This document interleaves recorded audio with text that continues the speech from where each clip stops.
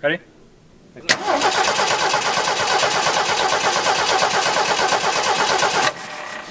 So Wrangler is this idea that I've had for a while now.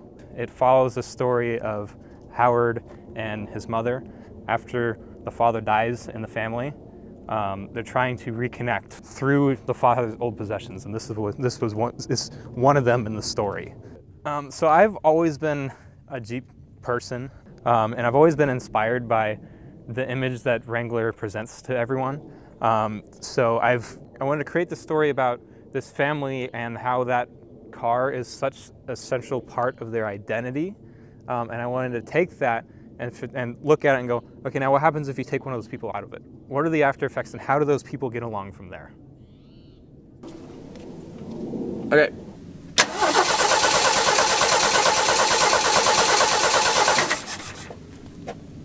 So the cool thing about Wranglers is that they, they came out in the 40s, but they really haven't changed a whole lot since then.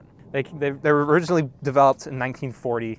They're for the, for the World War. And then after the war, after the war ended, all the, all the military guys still loved the Jeep so much that, they, that Willys continued building them for their farm equipment, uh, for all these GIs that finished the war.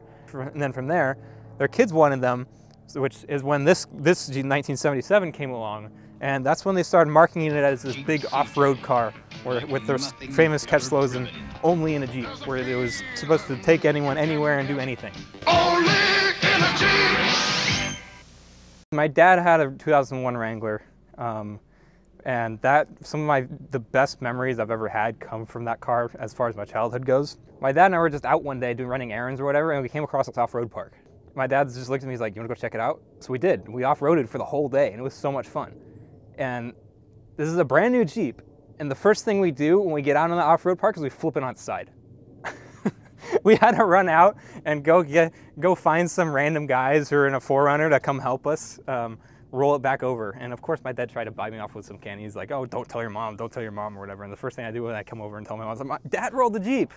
Crazy things like that. We've taken over back roads in San Diego, um, and it's and we've driven it through dirt devils in Tucson and we took it camping. We took it everywhere. It was like it's one of my favorite cars that we've ever had. So the story Wrangler for me has been a work in progress for over four years now.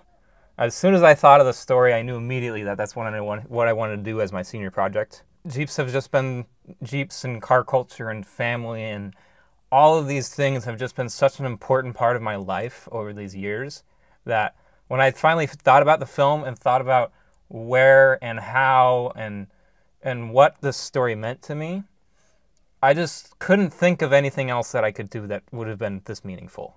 The problem is, I need help in order to get this film done. I really want people to help contribute and be a part of this family and be a part of this film because I know how important this is to me and I want this film to be as important to the audiences that watch it.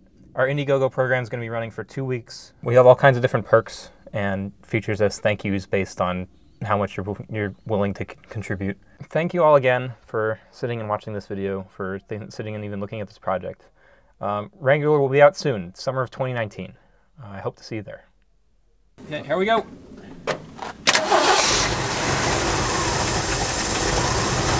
we go. Hey!